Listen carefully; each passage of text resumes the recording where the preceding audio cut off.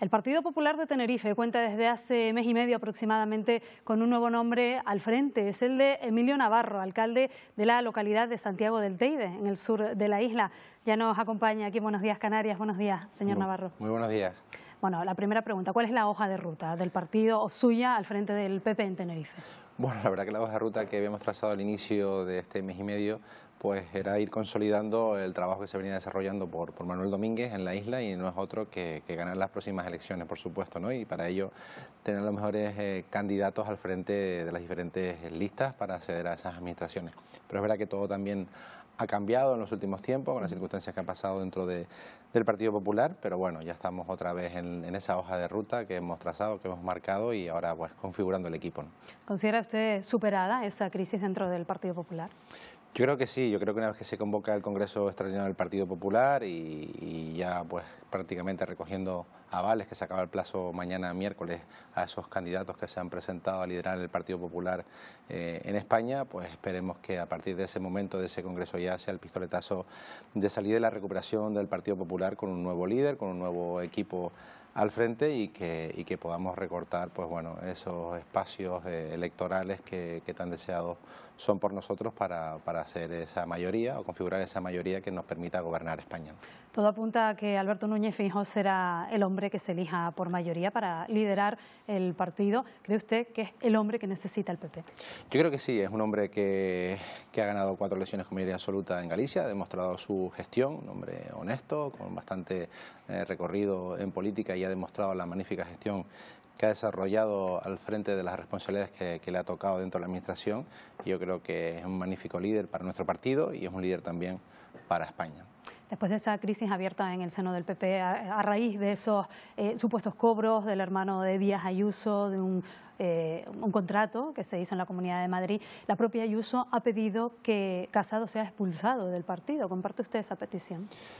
Bueno, yo dentro de esa situación que se ha abierto en el partido, como bien has mencionado, eh, hay que estudiar todo el procedimiento, todo el expediente, que, cómo se ha gestionado y bueno, yo creo que en este sentido las dos partes se han equivocado a la hora de llevar a cabo eh, este expediente y la gestión del mismo y hay que sentarse y hay que valorarlo. ¿no? Eh, por una parte, entendemos un poco las explicaciones que se ha dado por parte del actual presidente Casado ya en funciones y también por, por el presidente de la Comunidad de Madrid, Díaz Ayuso, pero como decía anteriormente, no, no he tenido el expediente en mis manos, sino lo que los dos han, comentado y han hablado a través de los medios de comunicación y, en la convocatoria de ese congreso y bueno, lo que falta es tenerlo, eh, visualizarlo y que a partir de ahí se deriven responsabilidades, pero bueno, eso le tocará también al equipo nuevo que entre a liderar el Partido Popular y que de ahí se determinen las diferentes responsabilidades y las consecuencias que tenga el mismo. Bueno, si nos colocamos en la actualidad de la isla de Tenerife, que es la que le corresponde a usted eh, como presidente del PP Insular, ¿cuáles diría que son las prioridades eh, más urgentes a atender? Y sobre le pregunto, siendo de un municipio del sur, ¿qué papel van a jugar los transportes en su eh, horizonte, digamos, de actuación? Bueno, está muy, muy en la actualidad todo el tema que tiene que ver con, con la movilidad, se ha hablado mucho del tren del sur, es verdad que quizás la gente del norte, la TF5, que es la TF5 todos los días, nos echará de menos porque no hablamos de la TF5 ¿no? y porque esas reivindicaciones sobre el tren del sur.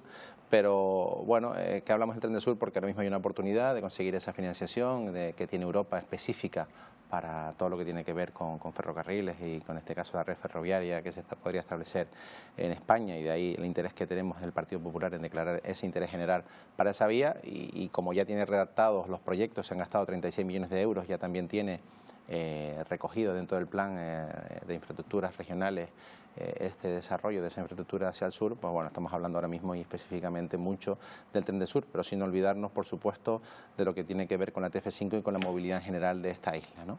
Pero por supuesto que Tenerife tiene muchos más problemas, tenemos problemas sociales como es el paro juvenil, que hablamos de más de un 50% del paro juvenil, tenemos problemas de, viviendas, eh, tenemos problemas también a la hora de gestionar eh, la ley de dependencias por parte del gobierno autonómico, pero que te afecta también a los vecinos de, de esta isla, tenemos unos problemas también con los la deficiencia de centros sanitarios también para, para, esta isla, problemas de vertidos, problemas con los residuos, bueno, muchísimos problemas que tenemos que, afrontar desde, desde, el Partido Popular, no solo el Partido Popular, sino desde la sociedad de la isla de Tenerife, donde hemos ido estableciendo reuniones con diferentes representantes de la sociedad civil, seguimos avanzando en esa línea, escuchándolos sobre todo y recogiendo en un documento las posibles soluciones que podemos aportar y que podemos darle a esta isla de una forma constructiva, ¿no? allí donde nos donde nos coloquen los vecinos en, en las próximas elecciones, bien sea en gobierno o bien sea en la oposición. Como alcalde de un municipio turístico, con una gran parte de turismo en él, eh, ¿de qué manera prevén que les pueda afectar esta situación? Primero era la pandemia, pero ahora tenemos que hablar de esa guerra, de ese conflicto entre Rusia y Ucrania. ¿Cómo prevén que les afecte? ¿O si ya lo está haciendo? Bueno, la verdad que sí, la verdad que llevamos 10 años donde hemos sufrido dos crisis, una económica muy importante, una sanitaria también que se convierte en una crisis también económica y bueno, y ahora eh, esta guerra que esperemos que no se prolongue por mucho tiempo porque podría ser una tercera crisis, ¿no? Entonces, bueno, ya estamos viendo también eh, las bajadas en las reservas, sobre todo entiendo la cercanía que tiene esta guerra con Europa y los miedos que, se tienen y por otro lado pues ya eh, muchos ucranianos que estaban de vacaciones en, Santiago del Teide que se están poniendo en contacto con nosotros el ayuntamiento para intentar darles una, una, solución a su situación que tienen ahora mismo en las islas y a sus familiares. ¿no? Entonces bueno, ahora mismo nos encontramos gestionando este tipo de, situaciones desde un ayuntamiento eh, como es Santiago del Teide donde nos encontramos pues prácticamente solos frente a esta situación y esperemos darle una solución lo más pronto posible. ¿Se ha puesto en marcha un plan o se está trabajando ya en un plan para la acogida de refugiados en nuestro país, también en Canarias? ¿Estaría usted dispuesto a acoger a algunas de estas personas en su localidad? sí, por supuesto. Por su capacidad no tenemos, tendríamos que gestionarlo a través de las diferentes infraestructuras turísticas que son eh, esos hoteles y esos hoteleros, a través de ellos es donde tendríamos que hacer esas gestiones, pero por supuesto desde el Ayuntamiento de Santiago del Teide estamos dispuestos a colaborar con, con ello y buscar una salida, ¿no? Pero bueno, para todo eso tendríamos que sentarnos, el Gobierno estatal a través de la acción del gobierno, que hasta ahora no hemos tenido respuesta por, por parte de ellos, ni siquiera se han puesto en tanto con los municipios eh, turísticos en este caso, que sean los primeros afectados, ni, ni, ni tampoco por parte del gobierno autonómico, ni en este caso el Cabildo. Emilio Navarro, presidente del PP de Tenerife, gracias por habernos acompañado hoy en Buenos Días Canarias. Un placer a ustedes, buenos días. Buenos días.